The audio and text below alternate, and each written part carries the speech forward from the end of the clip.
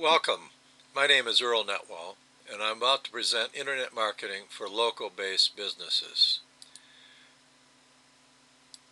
This presentation will be a bit of a pressure cooker with lots of content all in a short period of time. So strap on, strap in, and get ready because we all know that things change. Things have changed and they will continue to do so. In internet marketing world, a great many things have changed and the speed of that change, as they say, keeps getting faster and faster. This year alone, Google has had two major changes to their algorithm that's directly affected how people like me, how businesses like you get yourself seen in the search engines. And it has been devastating to many of my colleagues because we used to, and myself included, use what we call some gray hat, black hat type techniques that no longer work the way they once did. Instead, we got to do it the hard way, the right way, and in the long run, we're all going to benefit. But changes have occurred in a lot of other aspects as well, and we'll talk about them as we go through this presentation a little bit. Now, I want to ask you something you probably all heard the joke about the two hunters who are out in the woods when all of a sudden a ferocious bear is charging down the hill at them looking for some supper. One of them stoops down and ties on his tennis shoes. His buddy says, Hey, you can't outrun a bear. And the buddy says, Well, I don't need to outrun the bear. I just need to outrun you. Well, I've heard this joke, you've probably heard the joke too, but when it comes to internet marketing for local businesses, the point of that story is this. You're not competing against the whole world. You're not competing against the bear. You're competing against the three, five, ten competitors you have in your local market.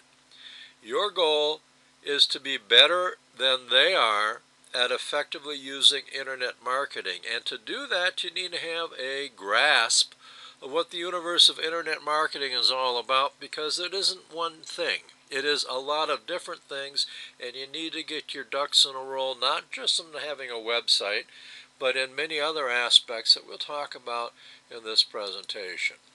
So the how content here today is I'm going to do a little intro here in a second, and then we're going to talk to you about what we're not going to talk to you about and why, and then we'll get into the nitty gritty and talk about what we are going to talk about and why. I hope you don't find that too silly, but let me introduce myself. My name is Earl Netwal. I've been working online since 1996. I started as an eBayer. I've got oh, 12,259 individual customers who gave me positive reviews on eBay. I was a top 5,000 reviewer. Uh, you know, I started on September 23rd of 1996, and I made my living on on eBay for a while. But ultimately, things change, as I said before, and I kind of got out of eBay and went into affiliate marketing and blogging and other aspects of internet marketing, and to the point where I became somewhat proficient, uh, enough so that I felt uh, qualified to write a series of ebooks at various times, first of which was Most Small Business Websites Stink. The fact of the matter is, most small business websites still stink, but you know, we'll talk a tiny bit about that a little bit later. I then wrote Main Street climbs to the top of the search engines and how local businesses can get themselves to the top of the search engines. And much of what's in that book is still true today, but a lot of things have changed. My most recent book, How to Get on the Google Maps, you can still go to Google, excuse me, to Amazon in their Kindle store and buy a copy of it. But Google Maps has now changed. It's now Google Plus local business pages. And again, things have changed. So while there's good content in all three of these ebooks, things have changed, and I don't particularly recommend that you invest in them. One other thing that's changed, and what we're going to talk about, that one other thing that's changed has been social media, has been the big rage uh, between Twitter and Facebook and so on. But in our presentation today, I said we're, we're going to talk about what we're not going to talk about, in social media is not what we're going to spend a lot of time on today. Now, we'll talk about it a little bit. All you need to learn about social media is YouTube and Foursquare and MySpace and Twitter and Facebook and LinkedIn and Squidoo and Blogger and WordPress. And once you got that, you got to realize there's new guys on the block. The fastest growing new guy is Pinterest. Now, you know, Social media, it's where things are at, but it's not where I think you, as a local business, should be focusing the bulk of your attention. One reason is that social media can be a big time suck. It takes a lot of time and a lot of effort to get there. For example, an effective Facebook page, in my opinion and that of many experts, needs constant content, new content, particularly pictures. How often? Three times a day you need to be posting to it, and that's three different times a day. Maybe morning, mid afternoon, evening, five days a week if you're in business. And now I've got a test blog of my own, uh, a Facebook page of my own I'm experimenting with, with some new techniques that I picked up from a chiropractor in Poplar Bluff, Missouri. But in my case, we're doing seven days a week. But I don't recommend that to you because, in addition to all that posting, you need to monitor and respond to comments by others day in, day out, forever. That is a big commitment that may or may not be appropriate for your particular business. Now, I'm going to tell you there is a definite role for social media in the ongoing marketing of your business, but it's not the place you need to pay your initial attention to. One of the reasons is that on Facebook and the others, not everyone is a customer. Most are looking to see family photos. Some, some are there to get information, but a far fewer are there to buy now. Those who are looking to buy now are said to have commercial intent. It's a key concept, commercial intent. An example of commercial intent that permeates all of internet marketing is keywords. Now, what are keywords? Keywords are the actual words that people type into Google when they're going to do a search for whatever. So, someone is searching for what would be a good present for my aunt Bertha. The keyword in that case is what would be my would be a good present for my aunt Bertha. Well, not everybody types out long sentences like that, but they type in a word or two or three when they're searching, and that is a keyword or a keyword phrase. Now, if someone types in digital photography, they may be looking to buy a camera from you, but they might also be looking for examples. They might also be looking for instructions. They might also be looking for general information. They might just want to see some pretty pictures. However, if somebody goes to Google and types in the keyword Kodak G-725A, they might be looking for a camera. They might be actually getting pretty close to buying a camera. That's a commercial intent keyword as opposed to digital photography, which is a far more likely looser keyword that might be digital, it might be commercially intent, but may also just be information based. Another example, someone types in landscaping. They might be looking to get some ideas on the types of bushes to put in the front of their house or maybe some instructions on how to do, grow, do roses or whatever.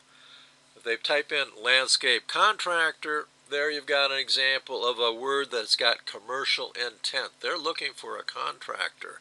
That's what you want to have them looking for if you are a landscape contractor. Another example, somebody types in chiropractic. They may well have a bad back and might be looking for some help and some advice. But if they type in Minneapolis chiropractor, it's far more likely that they've got that bad back and are actually looking for some help. Now, something else that's important that you understand, critically important that you understand in terms of internet marketing for your business, is something we're not going to cover a lot other than what we're going to say just this moment, and that's conversion. Conversion. What do we mean by conversion? Well, the bottom line is that at a minimum, at a minimum, internet marketing is a two step process. The first step is getting traffic by being found. Your essential first step is having people find your internet marketing and then to click on it. Once they click on it, once they go to your site, it's up to your web page or whatever you've set them to to convert them into a customer. So one part of internet marketing is being found. The second part is converting them into action. Now, I talked about most small business websites stinking. This is where they stink. They're not effective in the way they go about converting that viewer that comes to their site into taking action in a way that is beneficial to them.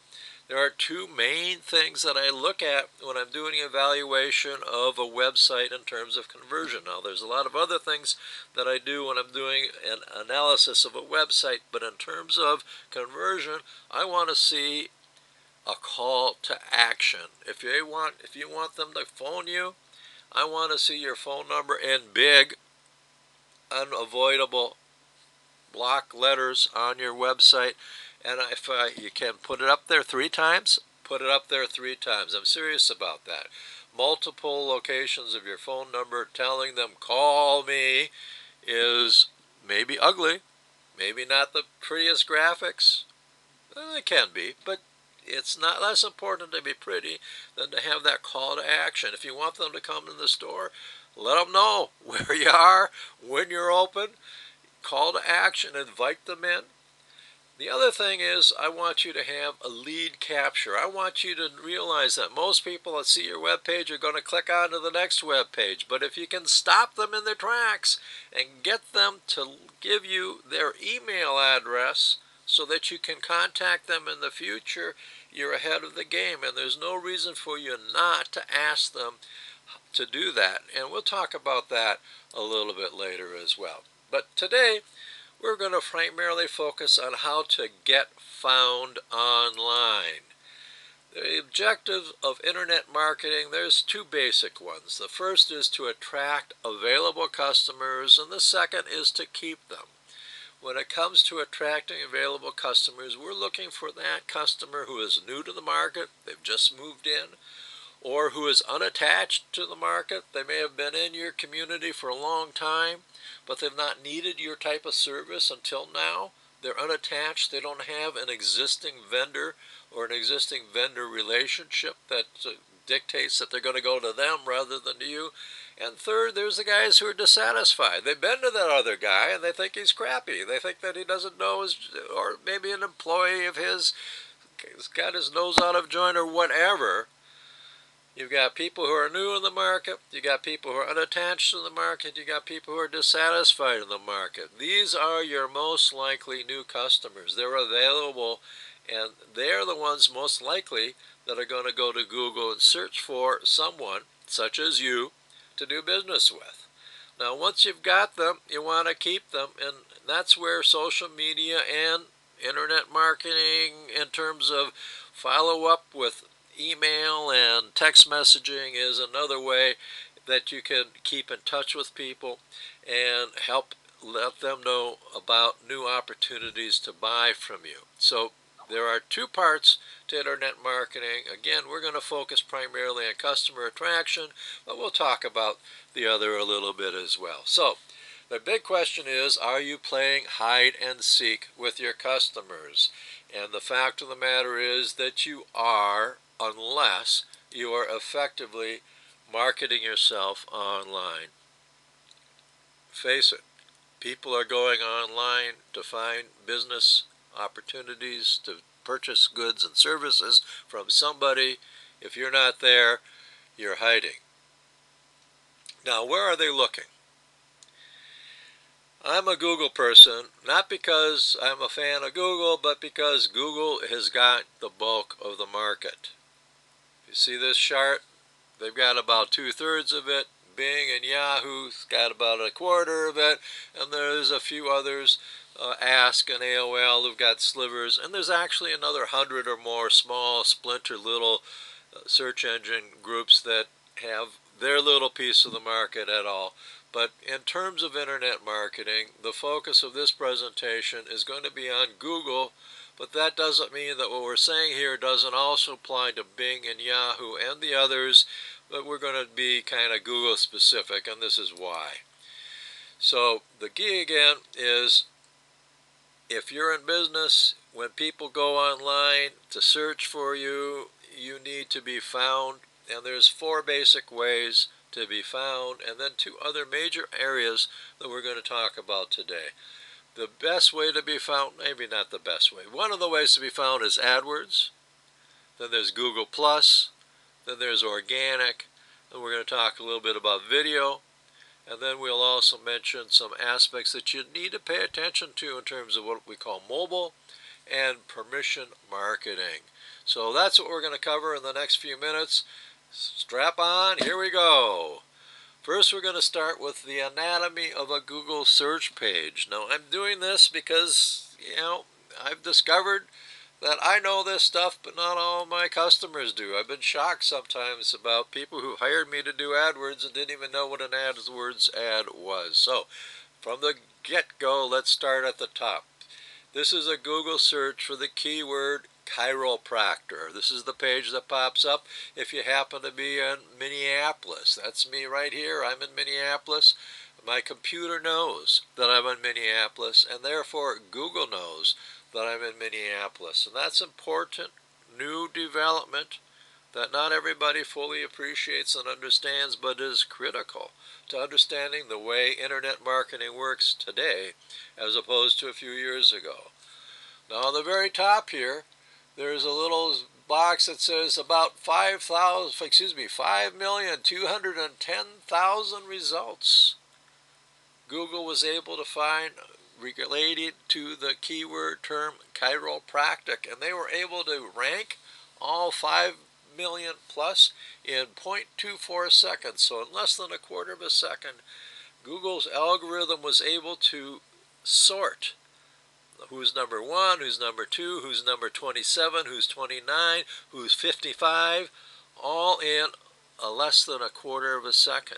They've got a system of doing that and understanding the impact of how that system works and how it determines who shows up on top of this first page or not is what we're all about here today. So pay attention. So on the top, we've got a couple ads here that are kind of in a beiged in area and then we got ads on the side. These are AdWords ads or pay-per-click ads. These are advertisers.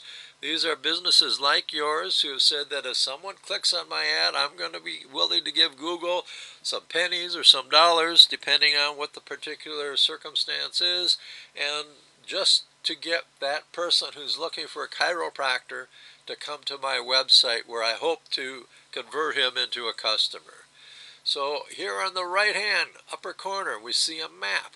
Again, we're in Minneapolis, and this is a map of chiropractors who are Google knows about in the Minneapolis area, and there's a lot of them.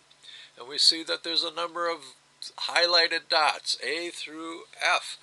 There's seven of these big dots showing up on this map. This is the Google map, and we're going to talk about that real shortly. Uh, the next, underneath the first two ads, we got a couple what we'll call organic listings. Sometimes there's a lot of organic listings, sometimes there's no organic listings at the very top. That varies by individual category. And what we're going to see is the next slide is what is immediately underneath that. Here's those same two organic ads. And here we get into the Google Places, Google Plus local business pages. And again, what these are, are these guys. The ones in the highlighted dots, they're showing up right here in this column. There's again seven of them. Most often Google shows up to seven. A couple years ago when they first started this, they showed 10. Pretty much now they seem to have synced in on seven as being the seven pack that they show. Uh, so occasionally, if they don't have enough people who have qualified to be in the seven pack, you'll see one, two, three, five, but normally in most markets and most competitive areas, they're going to list seven businesses. And I'm telling you right now, and I'll tell you again, if you're in a marketplace, you want to be in the seven pack on the first page of Google, period. Okay? Now I've highlighted here on the left what they show on the left and when they have this Google pack is they show the name of the business, the title, and they show their URL and they show some reviews if they have any reviews and they'll show if they've got a lot of views here's one score 27 of 30 he's got a total of 35 google reviews this guy's just got one this guy's got 13 this guy's got seven We'll talk about that in detail a little bit later. So, Monopoly. Everybody knows the game of Monopoly. And everybody knows that what you need to do is you need to kind of line up as many properties on the side of the board as you possibly can. It'd be nice to have Boardwalk and, and Park Place, but the name of the game is to get as much real estate as you can. And if you've got all the listings, all the listings in a row, you've got a better chance that when someone comes around that corner, they're going to land on one of yours. In a lot of ways, internet marketing and what we're talking about here is like playing the game of Monopoly. The difference is that instead of Park Place and Venture Gardens and Marvin Gardens, Venture Place, Marvin Gardens, you know the names, each of the listings that people show, see, back here, each of these is like a different property in Monopoly. And you can show up in more than one. In fact, if you really want to be the billionaire on Monopoly, you want to show up in as many as possible. I have a colleague who is, shows up, one of his clients shows up 9 out of 10 times on the first page of Google results. What does that mean to that client? It means that darn near everyone that comes looking for their main keyword is going to see their listing. Do you think that helps their business? Absolutely. So the name of the game in internet marketing is not just to be there once. If you can, you want to be on that first page of Google results for your major keywords as often as possible so that you can dominate, so you can monopolize the attention of prospective customers and drive them to your page. Okay? Key concept. You can't afford not to be on the internet and marketing your business. There's just no way. Now, when I talk to many of my local businesses, they say, well, everybody knows that I'm here. They drive by every day. Everybody in the neighborhood drives down 34th Avenue or Broadway or whatever street you happen to be on. They see my sign. They know I'm here. I've been here for 30 years, whatever. I have a question for you. What color is a yield sign? You know, a street sign, a yield sign? Think about it. Write it down your answer. Now, the odds are that a lot of you are going to get this right. But there's a lot of us older folk, such as myself, baby boomer that I am, both my wife and I got this question wrong here a few weeks ago when it was posed to me for the first time. What color is a yield sign? Well, I knew exactly the answer. The answer is yellow. Now, have any of you agree with me and said yellow? Well, unfortunately, it's not. It's red and white. And not only is it red and white, it's been there way since 1971. It's a long time ago. But in my mind's eye, it's yellow. Because that's what it was when I took my driving test way back when in the olden days. Now, some of you got it right and some of you got it wrong, and those that got it right might not realize this. But what the point is, is that people can drive by your business day in and day out and day in and day out. They might even know you.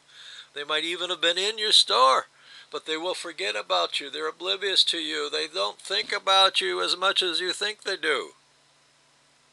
They'll go to the internet and they'll search and they'll drive by your store and go to your competitor if your competitor compels them to do so effectively by being visible when they're actually looking and by compelling them through a good converting web page presence. So even if you think everybody knows who you are, those new customers, those unattached customers don't necessarily, and therefore you need to be online, period.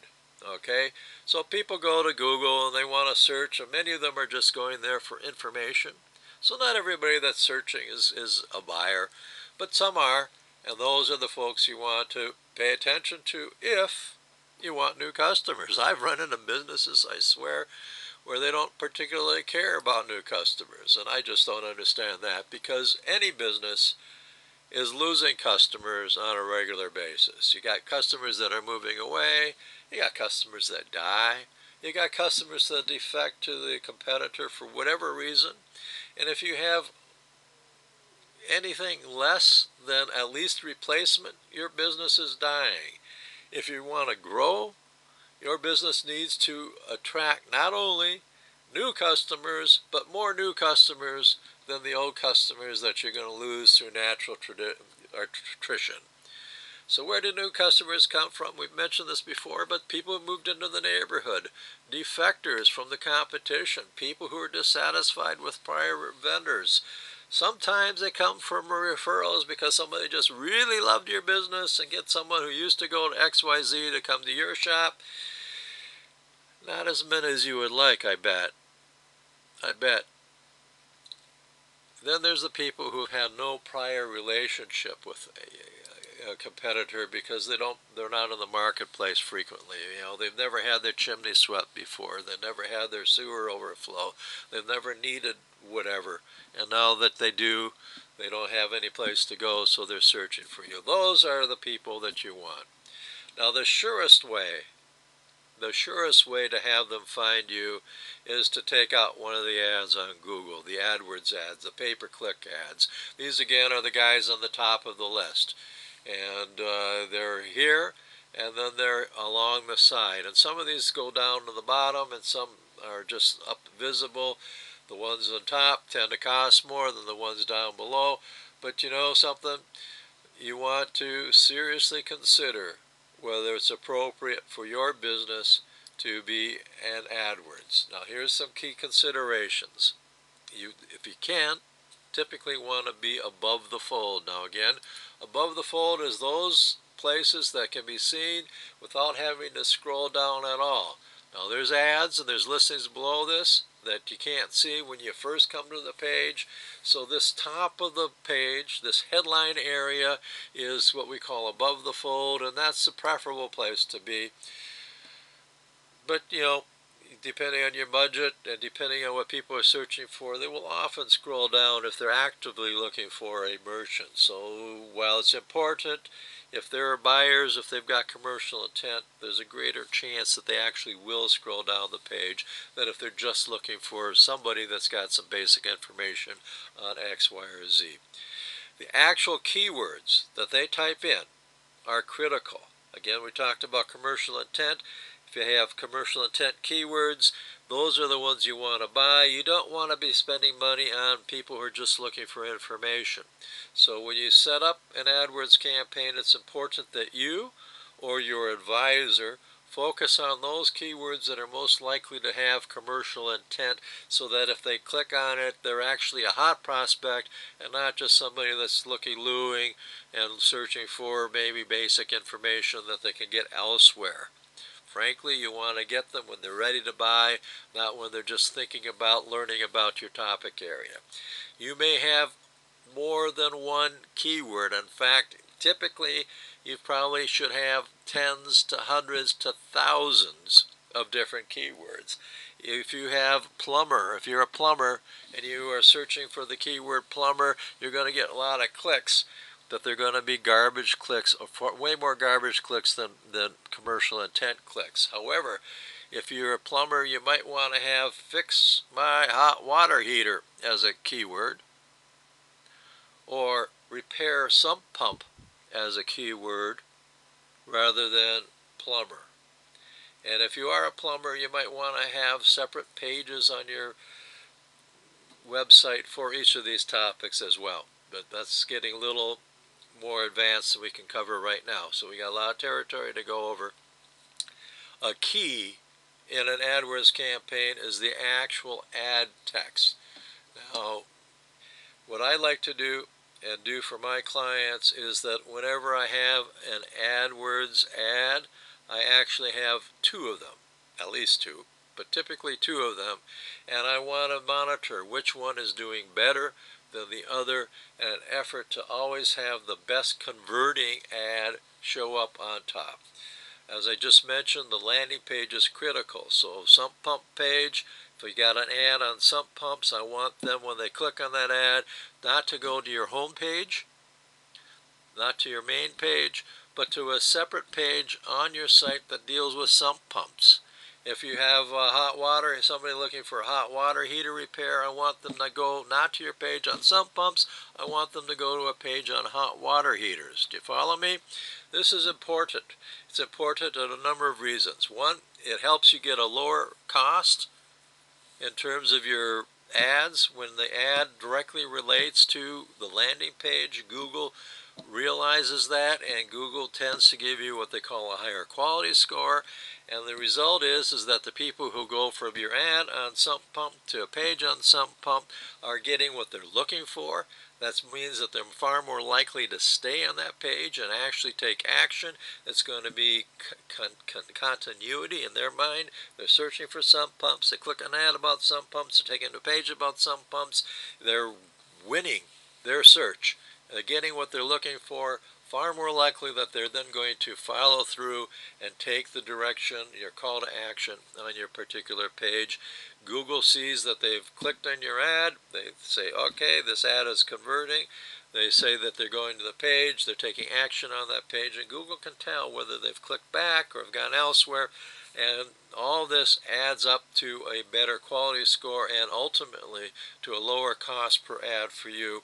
And we don't have time to go into great detail on why Google Pays charges you less if you get clicked on more often, but it's in their interest and it's in your interest to do so. Key thing about AdWords and why it's important to local businesses is that you can actually define the geographical area in which your ad shows up. You can say that I want to get the people that live within three miles of my shop. You can have two shops, three shops. You can set up separate campaigns that specify each individual shop. You can have it set up so that it just shows up in your zip code. You can have it show up so that it shows up within 30 miles of your area. If you're in Minneapolis, you can have it show up in Minneapolis but not St. Paul, or Minneapolis and St. Paul, or any such combination. Key thing about AdWords is that you can hone in on your specific target. So even if you are a pizza shop that serves the two mile area around your particular neighborhood. You can advertise just in that area, and only people in that area will see your ad, and that means that you can be in the marketplace on AdWords and do so effectively. Basic guidelines I think that an AdWords ad should get at least one out of 100 people that sees it to click on it. If it's don't, you need to work on the content of that ad to get a higher percentage of them to click on it. You can think about it this way. You don't pay for an ad that no one clicks on, but if only less than 1%, Google's going to start charging you more and more for that or putting you further and further down the list where you're less likely to get seen by your potential customers. So you want to aim at least 1% and I like to get them up to 3, 5, 6 or better percentage if at all possible. A certain percentage of people that buy, that click on your ad are going to buy. Not everyone will. Okay?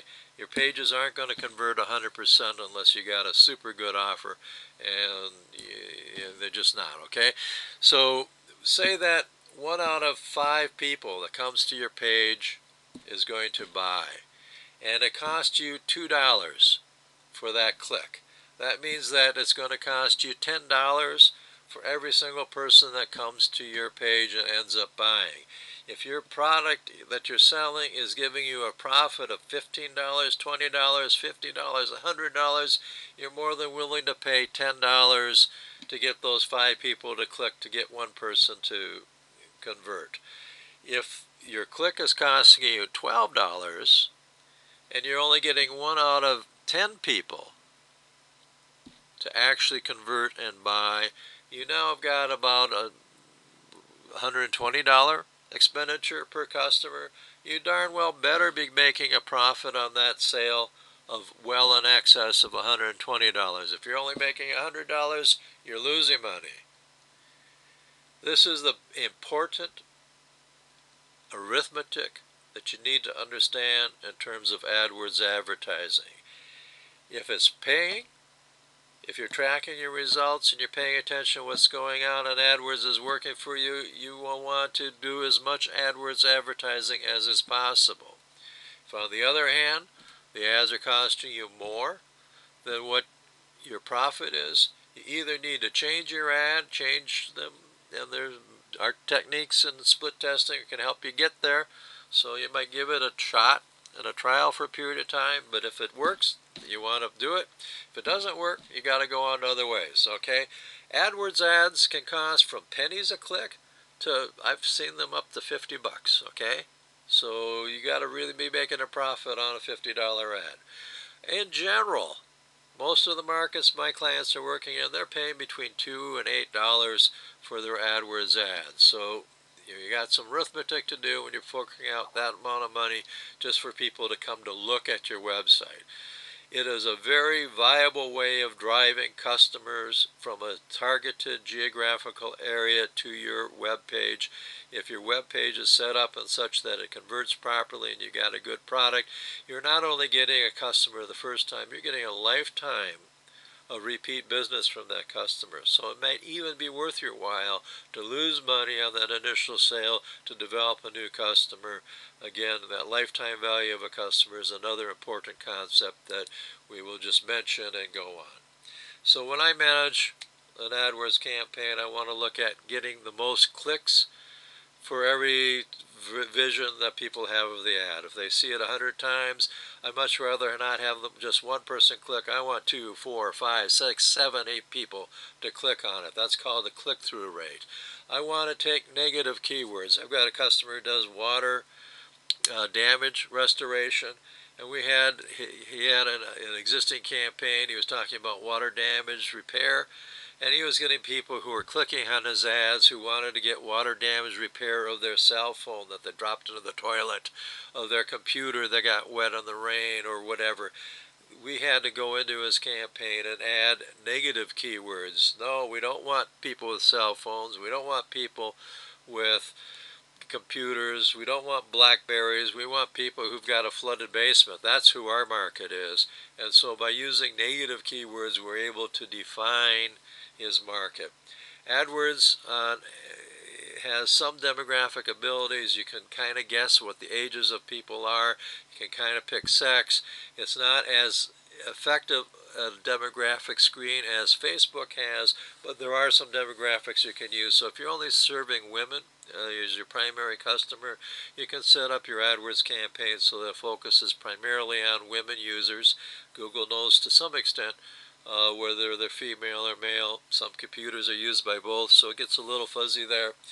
And ultimately, when I manage a campaign, I will harp on what can we do to make that landing page convert a little bit better. So spend a lot of time on AdWords. It is the easiest way to quickly get on the first page of Google. Here's just an example of a split test. This is a client of mine in Long Island, New York. They, they do, they install Hunter Douglas fabric blinds, and uh, as a sideline, they do cleaning of them.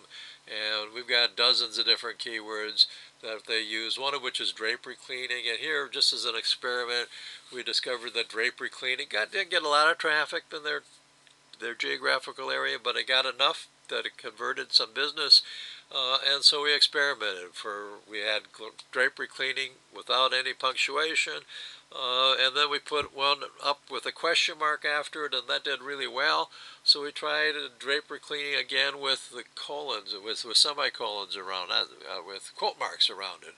And we discovered that still the one with question marks was doing much better, got 6.73 conversion rate, whereas the one with quote marks just got just under a 3% conversion rate.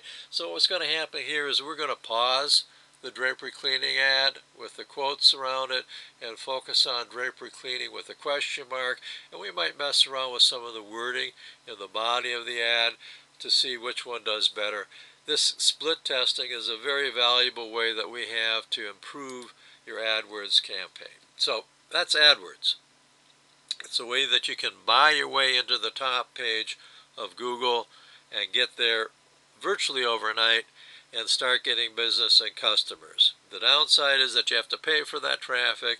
The upside is that if you know what you're doing, develop your page properly, you put together a planned campaign, you experiment, you decide which keywords are working best for you, you focus your efforts, you can actually know what kind of results you're getting from the AdWords campaign and really turn it into a traffic generator and a cash flow generator.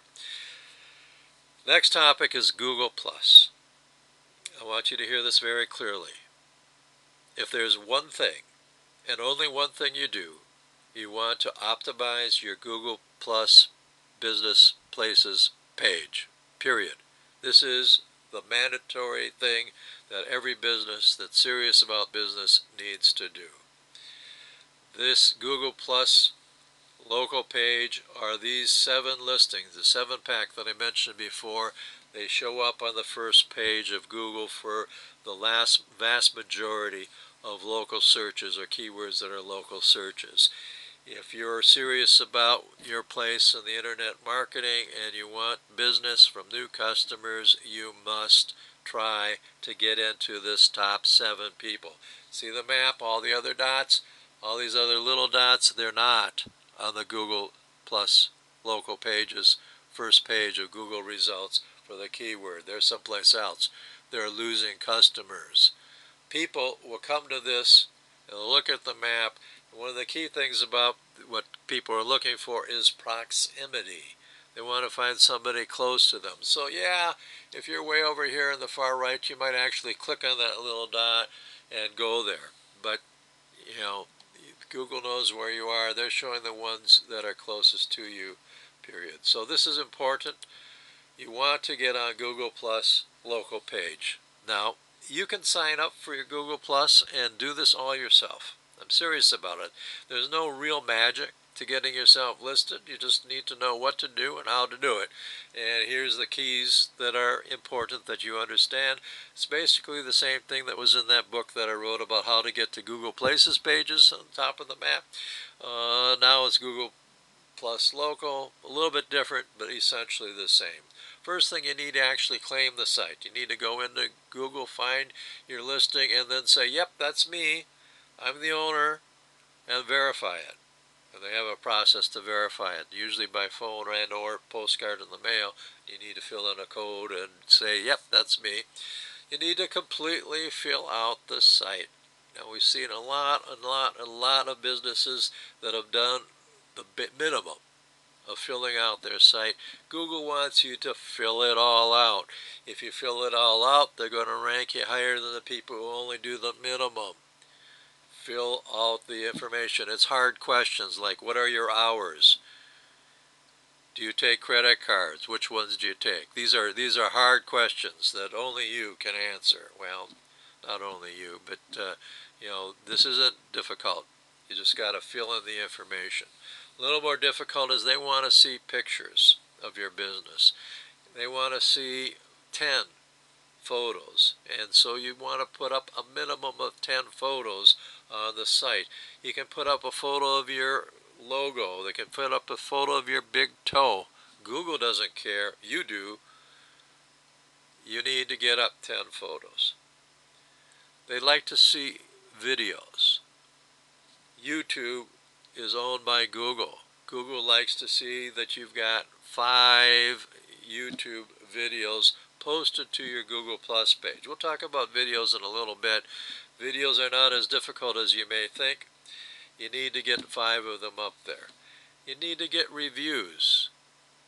Businesses that have got positive reviews are going to get ranked higher and higher on the Google Places pages. And more importantly, the people that come to look for you if they see that there's a lot of reviews, if they see that there's positive reviews, that you've got a high ranking in the reviews, that's what's going to matter most in the future. It's not as important today as it will be tomorrow, but tomorrow's going to be here real soon, and you need to be paying attention to reviews. We'll talk about that in a moment. You need to have citations. Citations is something we'll talk about in the next slide. Citations are you're being listed on other sites. That gives Google credibility that you are in fact in business and that you're serious about business. If you're serious about being seen online, they're more willing to rank you as such because they want their customers to know they're dealing with a serious business person and not just somebody who filled out a form. They do that by checking and seeing that you are listed on a lot of other locations and you want to do that.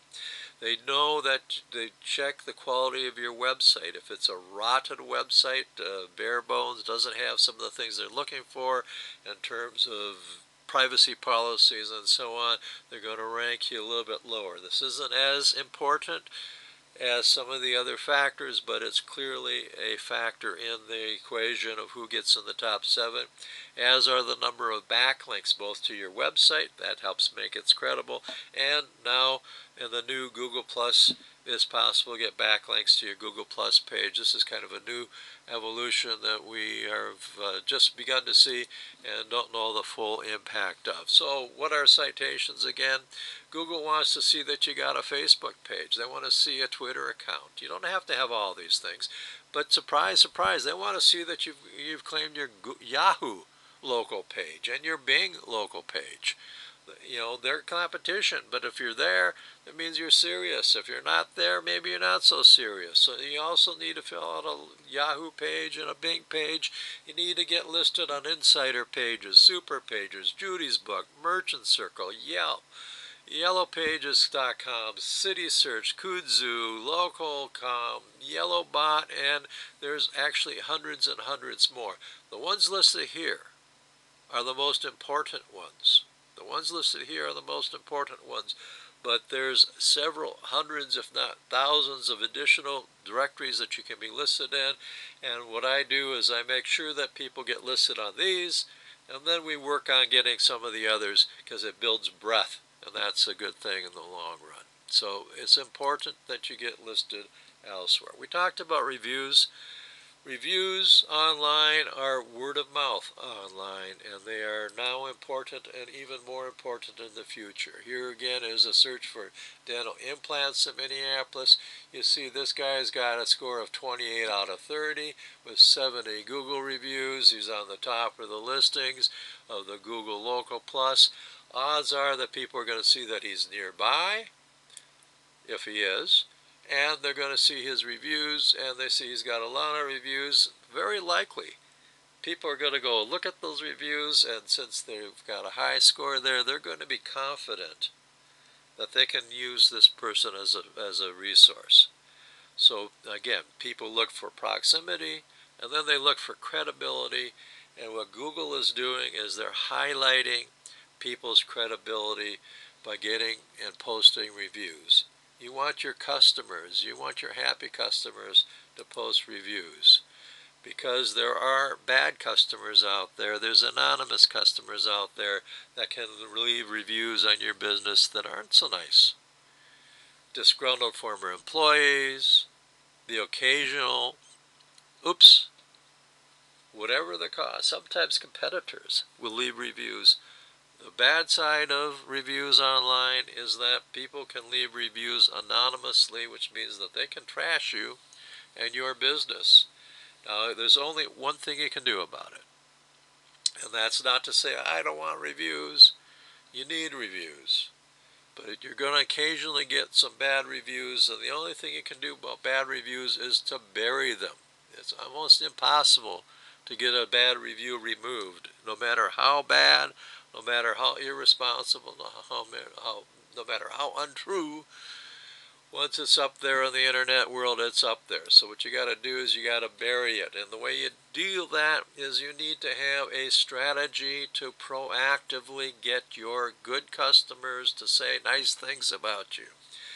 So for some of my clients, I've created what we call social igniter cards. And I'm going to just show you a generic example here and it doesn't have to be this what I typically do is little two by two little forms that I give to people that includes a, a QR code that they can scan into their telephone and or a shortened URL code that takes directly to the Google Plus page where it reviews for your particular business. We get a shortened code in there so it's not so it shows up and it makes it easier for your customer to take action.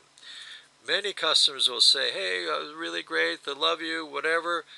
You know, you'll say, "Tell your friends," and maybe they will. Mostly they won't.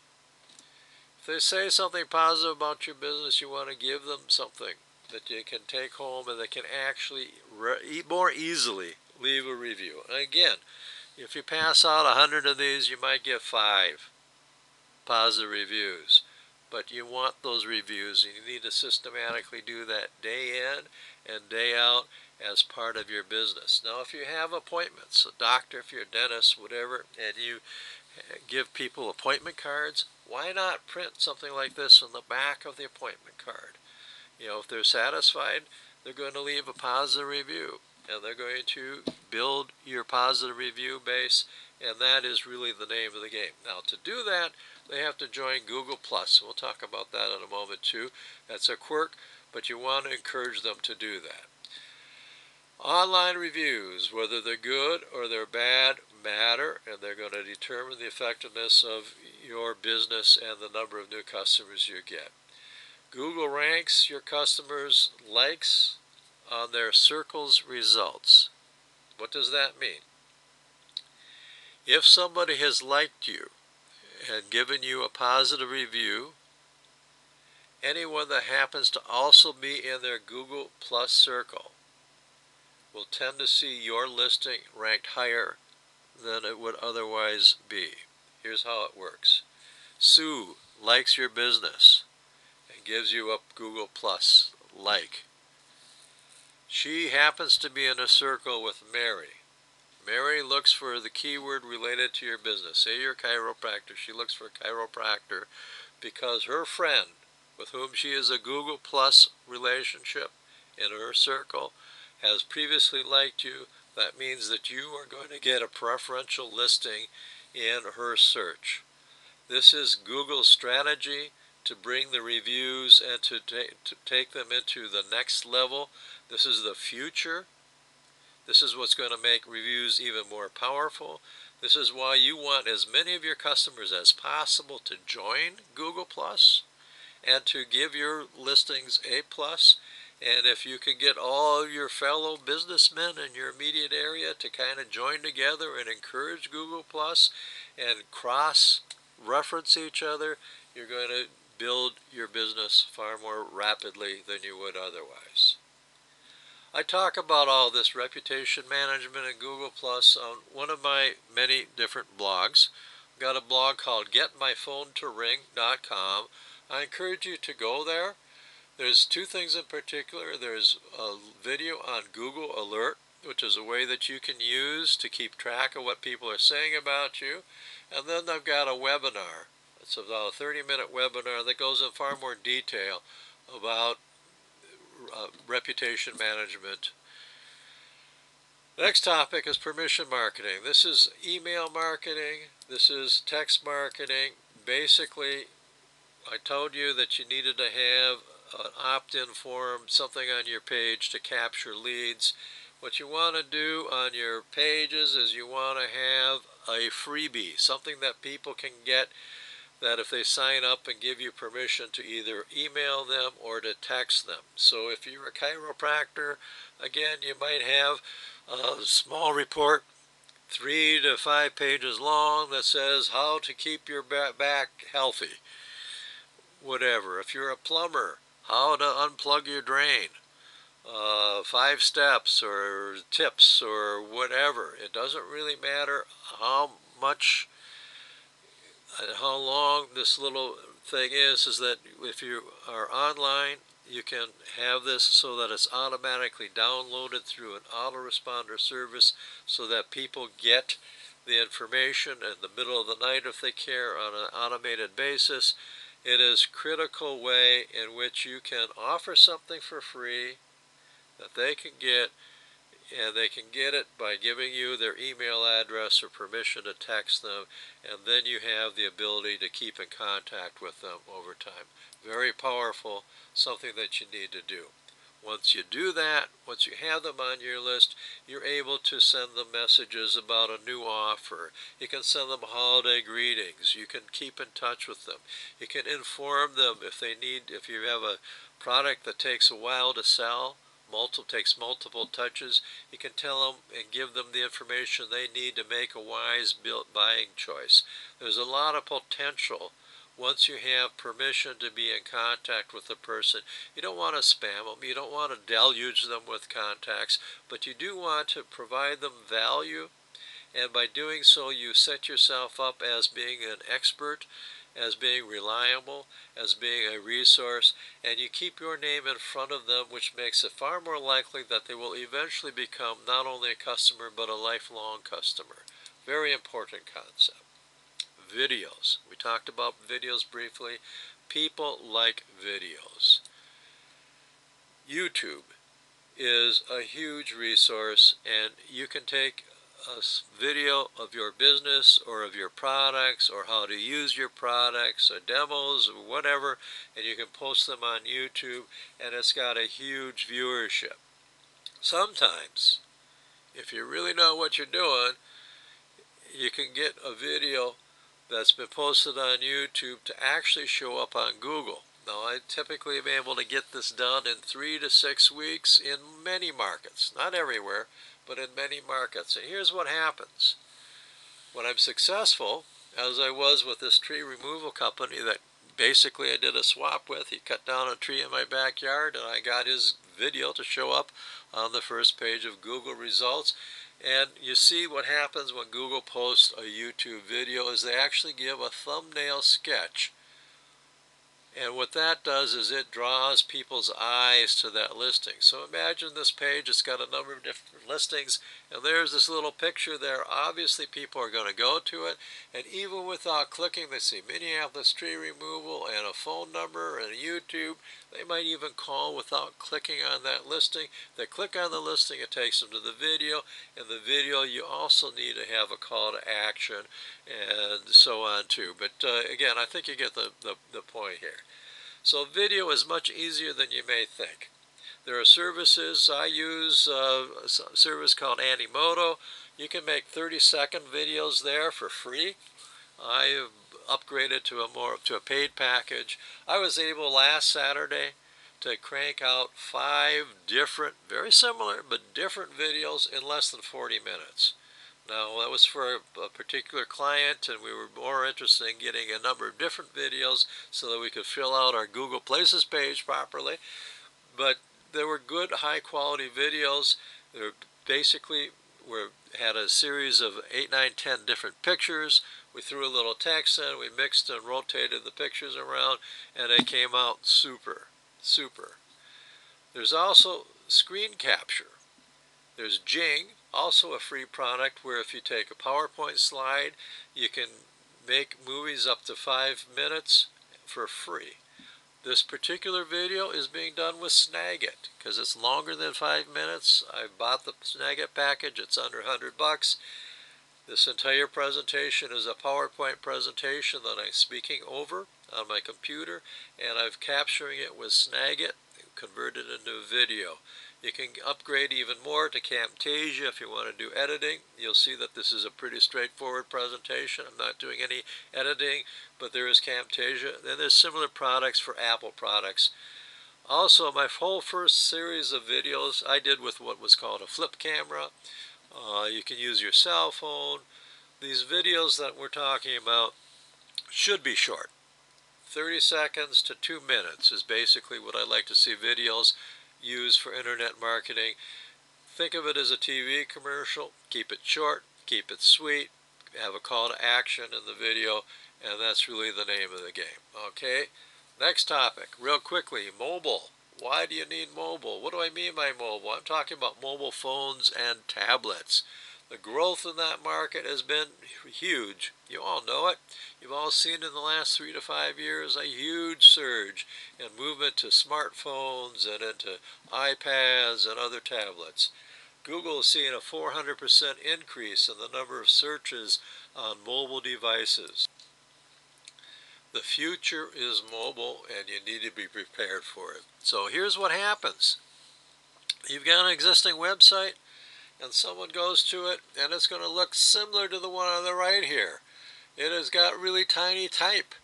They scrunched the whole website into so that it shows up on the screen, which makes it impossible for anybody to read or to act on. Or what will often happen is that they will just show the upper left-hand corner of your website, and they'll have to scroll over on their cell phone, and they just don't do that. In contrast, here's a Domino's page. It's got the Domino's logo on top. It's got a series of five buttons. You click on those buttons, you get more information.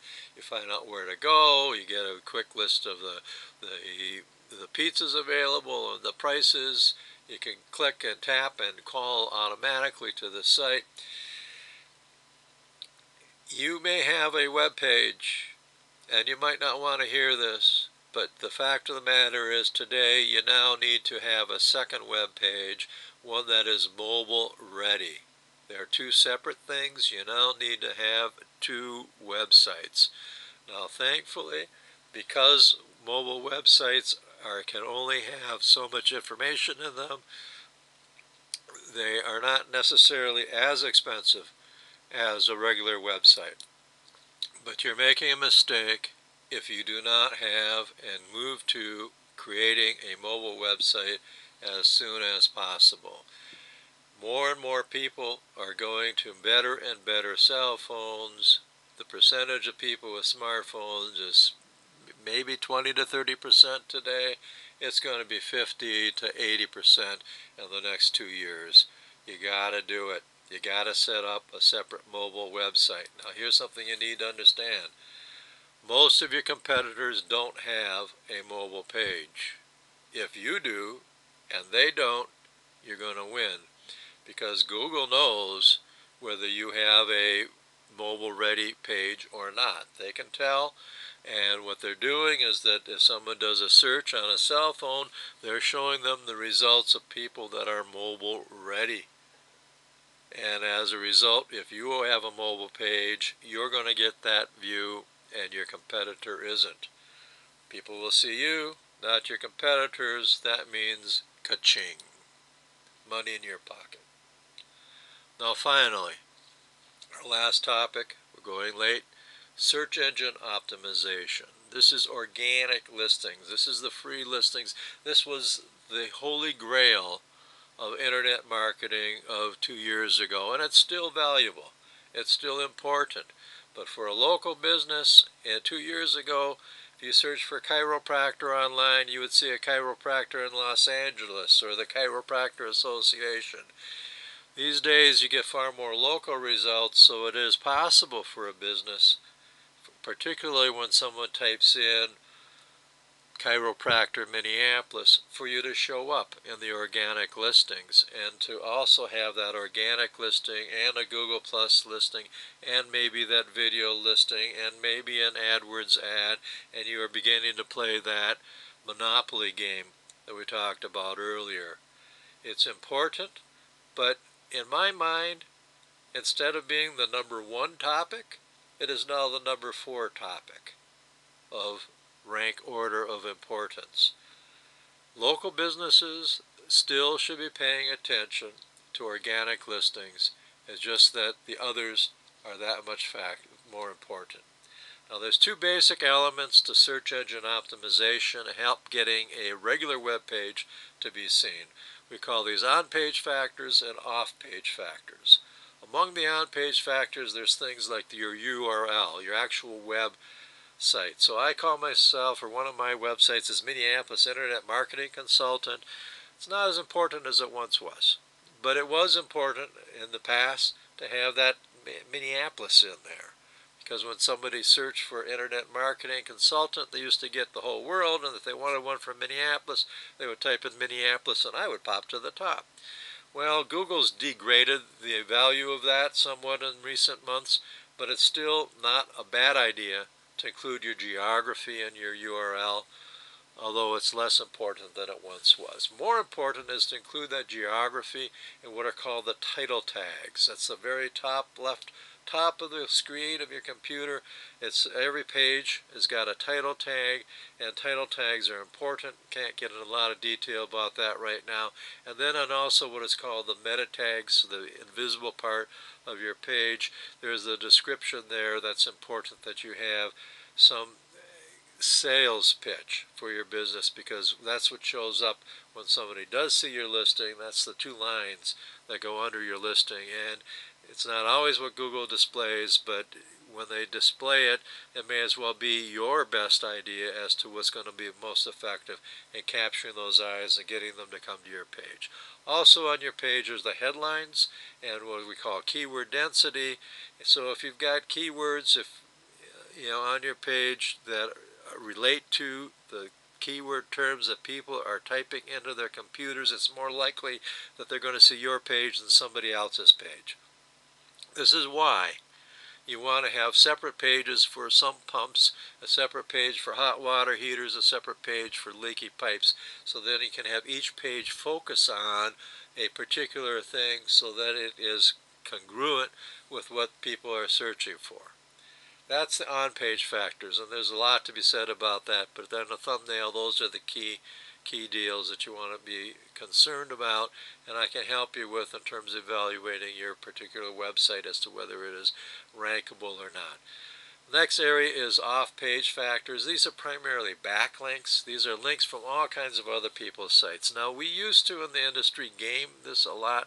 We were able to get tens of thousands of web of backlinks created almost on autopilot automatically, and Google's kind of cracked down on that. And in the long run, that's a good thing. It's still important to generate these backlinks. It's just more important that you do it in a more natural way and that you systematically go after good backlinks from credible resources that Google values and as well as a lot of little lesser ones. This is all what filters into what's called search engine optimization. These are the folks that are calling you every day or every other day or once a week or whatever it is and trying to sell you services. I'm telling you that while SEO is important, it's not as important as it once was. So in conclusion, my important takeaways that I want you to understand is that local businesses can market online to your local neighborhood area effectively and in fact local businesses must market online or you're going to lose out on all the new customers that are emerging in your marketplace and you're, you're going to lose customers through natural attrition. In the long run, you're hurting your business and you're going to go down the drain. On the other hand, if you can outcompete your competitors and get a better shot at getting the new customers, the available customers in your market, you stand a chance to grow. If you don't do it, your competitors will. So think about that. And finally, the big takeaways. Google local pages is a must. You absolutely must get your Google local pages set up. Reputation management and reviews. It is the future. It's what you absolutely positively need to start paying attention to and developing a progressive, ongoing, proactive strategy to get positive reviews. And mobile is here now. It's inevitable. Sooner that you get a mobile site up means money in your pocket. You got to do it. You got to do it. You got to do it. Okay? Finally, you need help. You've got a business to run. You've got all the other stuff on your plate. You need someone, me or another competent internet marketing expert to assist you in developing an ongoing strategy. We used to put money into newspaper ads or TV ads or yellow page ads. You got to think of this as advertising. You're going after new customers. Today, you need to invest in hiring competent uh, skills to help you manage your internet presence so that you're able to attract the new customers and to grow. My name is Earl Netwal. My phone number is 612-724-4392. You can email me at enetwal at gmail.com. I'm an official Google Engage agency, which means that if you decide that you want to do an AdWords campaign and it's a new campaign, I can float you $100 of free ads. You probably get $75 coupons on a regular basis from Google anyway, but I can help you set up your AdWords campaign properly.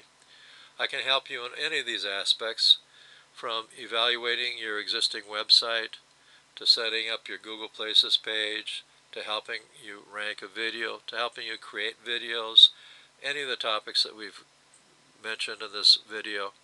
If you need help or would like some assistance, feel free to contact me. Again, the name is Earl Netwal.